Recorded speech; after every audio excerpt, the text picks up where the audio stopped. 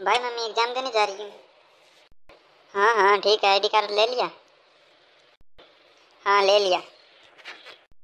Pen ले ली। हाँ ले ली। पढ़ाई कर ली।